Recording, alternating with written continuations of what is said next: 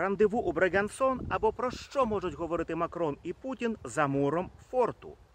Дорогі друзі, вітаю вас із Страсбурга або, можливо, із Франції загалом, власне кореспондент Укрінформу Андрій Лавренюк. Цього разу я хочу поділитися деякими думками, міркуваннями, можливо, інформацією про заплановану на 19 серпня зустріч президента Французької Республіки Еммануеля Макрона із господарем Кремля Володимиром Путіним. Макрон запросив Путіна до себе в гості до своєї літньої резиденції, де нині проводить відпустку. Це колоритне місце, середньовічний форт Брегансон, який розташований на невеличкому острові на Лазурному узбережжі. Резиденцією французьких президентів е, цей форт або фортеця е, став у 1968 році за президента Шарля де Голля, але популярністю не користувався. Як відзначали деякі французькі лідери через недостатню приватність, а також відносну доступність до цього острова для папараці. Наприклад, е, президенти Саркозі, Оланд е, перебували там із своїми супутницями лише по одному разу. Президент Макрон минулого року зустрічався там із прем'єр-міністром Терезою Мей, де лідери обговорили проблематику Брексіт. Е, Цього разу Макрон запросив туди Путіна, і ця зустріч вже спричинила чимало критики, суперечливих зауважень і занепокоєнь, включаючи й українську громаду у Франції.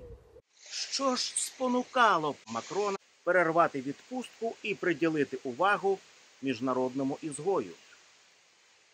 Найголовніший мотив для України це прагнення французького лідера відновити, оживити нормандський формат.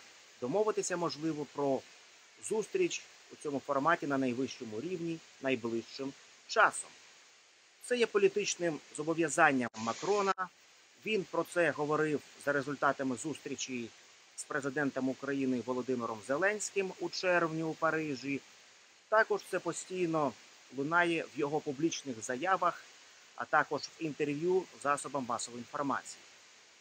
Наскільки можна щиро говорити з Путіним про нормандський формат, про досягнення його цілей і мети в інтересах України? Я думаю, що це питання риторичне. Коли Росія піде геть з України, коли припинить військову агресію, коли звільнить українських політичних заручників і військовополонених, коли Україна відновить контроль над українсько-російським кордоном, на сьогодні це питання доволі складне і, на мою думку, в контексті результатів переговорів Макрона з Путіним, як для України, є скептичним. Також можна говорити ще і про таку риторику і пропаганду Кремля в контексті е, мети зустрічі. Мовляв, це Макрон запросив Путіна напередодні саміту е, Великої Сімки, щоб обговорити з російським лідером актуальні глобальні питання світової політики. Як відомо, саміт е, G7 відбудеться того ж тижня наприкінці 24-26 серпня у французькому корсиканському місті Єріц.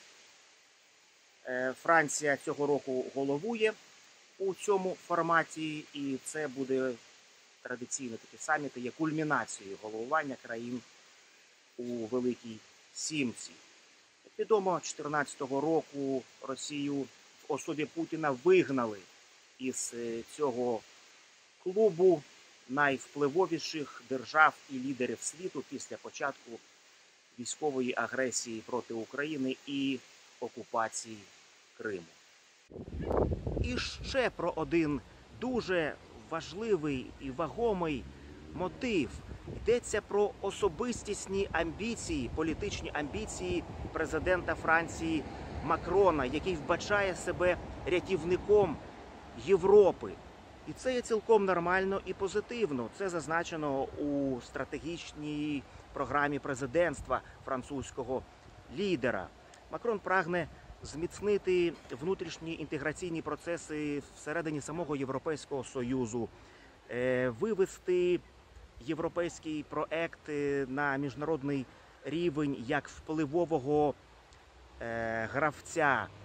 Особлива увага тут приділяється сектору безпеки та оборони, створенню так званої, можливо, європейської армії. І чомусь Макрон вважає, що без відновлення стратегічного діалогу з Росією цього досягти неможливо. Відтак, зустріч з Путіним це є черговим етапом реалізації цієї її політики. Е, Наприклад, безумовне повернення російської делегації до парламентської асамблеї Ради Європи, що пролобіювала Франція і Німеччина, є ось такими конкретними прикрими прикладами, на жаль. Але тут виникає парадокс, адже і Путін, і Росія, і кремлівський режим навпаки прагнуть знищити Європу, дестабілізувати її, послабити її, дискредитувати європейські цінності, адже лише послаблені, дес- дес- дестабілізовані і перелякані сусіди є запорукою е, виживання нинішнього режиму у Кремлі. Відтак буде цікаво, як е, Макрон може вести на равних е, діалог з Путіним, який має цілком протилежні і підступні завдання для себе і для свого режиму.